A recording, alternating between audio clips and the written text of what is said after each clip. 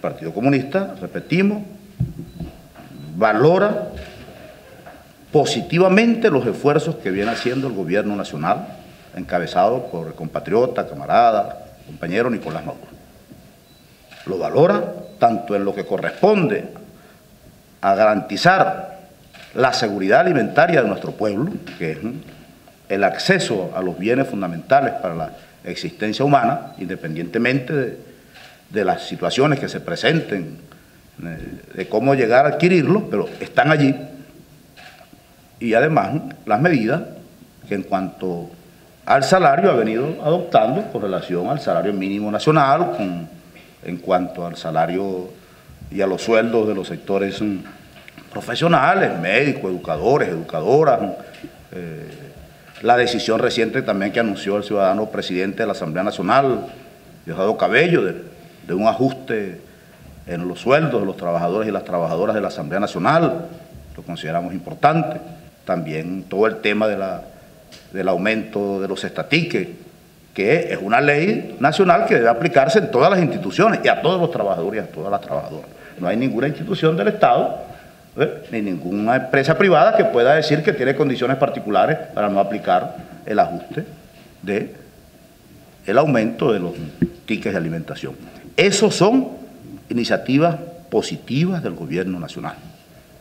Ahora bien, la Dirección Nacional del Partido eh, entiende que esas medidas, y no lo entiende por una, por una ¿cómo diríamos?, por una reflexión este, al margen de la realidad, sino que lo entiende como producto del análisis concreto de lo que está aconteciendo y asume la Dirección Nacional del Partido que esas medidas, eh, si se mantiene el sistema actual de distribución, y queremos insistir en esto y lo haremos todas las veces que sea necesario, así, así se convierta en una cantaleta, ¿eh? ¿Eh? si no se resuelve y se supera el sistema actual de la distribución en manos de los monopolios, no podrá resolverse lo referente a un acceso en mejores condiciones a esos bienes por parte de nuestra población. Y en mejores condiciones es atacando las colas, en mejores condiciones es atacando el bachaqueo, pues.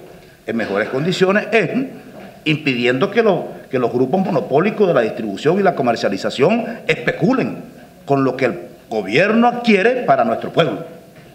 ¿Eh? eso es lo que nosotros nos denominamos eh, eh, superar una situación, que es posible hacerlo, insistimos también desde la dirección del partido que es posible hacerlo, si construimos un nuevo modelo de distribución popular y público, o público y popular, al final de cuentas, un sistema público y popular de distribución de distribución ¿eh? de los alimentos, de distribución de los bienes esenciales para nuestro pueblo. Y allí no hemos avanzado todo lo que debemos, porque nosotros hemos, planteado en el Partido Comunista que es necesario crear los puntos de, de distribución en las comunidades. Ahora bien, esos puntos de distribución en las comunidades, dado el hecho que hay un nivel de deformaciones eh, que se han instalado como consecuencia de la actuación de los grupos monopólicos de la distribución y que han creado, porque hay que decirlo, en un primer momento lo que se ha dado en llamar el bachaqueo pudo haber sido una expresión individual de algunos que otros pequeños comerciantes. Hoy el bachaqueo se ha convertido en un sistema que manejan los, grupos monopólicos, ¿eh?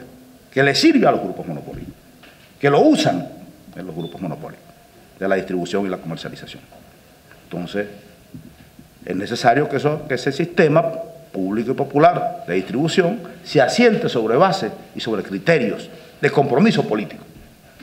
Es necesario que las comunidades, los consejos comunales, las comunas, los partidos revolucionarios, incluyendo el Partido Comunista de Venezuela y, y todo el conjunto de los partidos del Gran Polo Patriótico Simón Bolívar, los movimientos sociales, impulsemos la construcción de los consejos populares de, eh, de abastecimiento y producción.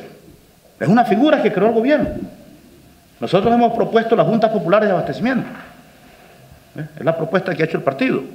Pero el Ejecutivo creó una figura que se llama Consejos Populares de Abastecimiento y Producción. Bueno, si esa figura ¿eh? tiene unas competencias, nosotros tenemos que asumir esa figura para construirla desde el movimiento popular, no desde la institucionalidad, ¿eh? sino desde el movimiento popular. Esa es una de las cosas que debemos hacer como partido revolucionario. La militancia del Partido Comunista debe fortalecer esta iniciativa. Lo estamos haciendo, pero debemos darle con más fuerza, con mucha más beligerancia. ¿eh? Como militantes del Partido Comunista de Venezuela y de la Juventud Comunista de Venezuela, como integrantes de todos los sectores del Gran Polo Patriótico, a constituir con los consejos comunales y las comunas las juntas populares de abastecimiento o los consejos populares de abastecimiento y producción, desde la base, desde la Asamblea de Ciudadanas y Ciudadanos, para romperle el espinazo a los monopolios de la distribución y la comercialización, para romperle el espinazo a las mafias privadas y públicas que están haciendo su agosto a costa de nuestro pueblo. Sectores privados, monopólicos y también sectores públicos individualidades, mafias que se han constituido y ahí la vigencia de esta consigna del partido que dice cárcel para los corruptos, los mafiosos, los especuladores y los, mm, los machaqueros, y estén donde estén, estén donde estén, estén en la oposición o se digan del proceso, o se digan, porque quien sea de verdad el proceso no agrede a nuestro pueblo. ¿Eh? Por eso decimos que se digan. Quien sea de verdad un proceso de cambio no agrede al pueblo se enfrenta más bien a los agresores. ¿eh? Aporta la construcción del poder popular para defender los intereses. También llamamos a las organizaciones sindicales, a los cuadros del movimiento sindical clasista, a fortalecernos en el seno del movimiento obrero, a crear los consejos de trabajadores y trabajadoras. ¿eh? No existe la ley, no hemos logrado que se apruebe en la Asamblea Nacional, ciertamente, pero existen algunos instrumentos que permiten la creación de los consejos socialistas de trabajadores y trabajadoras más participación de los trabajadores, más confianza en la clase obrera, pues, más confianza en los trabajadores y las trabajadoras de la ciudad y el campo, pues, más confianza en el movimiento popular, pues, menos descansar en la burocracia y mucho más, o mucho menos, en los monopolios privados, los procesos de distribución. Porque allí se están, es donde se está produciendo incluso los más altos niveles de acumulación después de el sector financiero. Después del sector financiero, que especula, pues que no le importa el desarrollo productivo. El otro sector, que también especula y se enriquece, es el de la distribución, el de la comercialización. Entonces, así como nosotros planteamos nacionalización del sector financiero, de la banca, con una participación y una transparencia superior, y la nacionalización del comercio exterior, también hubo un esquema de mucha mayor transparencia, mayor control y participación obrero y popular, también planteamos que en los centros de trabajo bueno, se desarrollen niveles de participación que se expresen en los consejos socialistas de trabajadores y trabajadoras.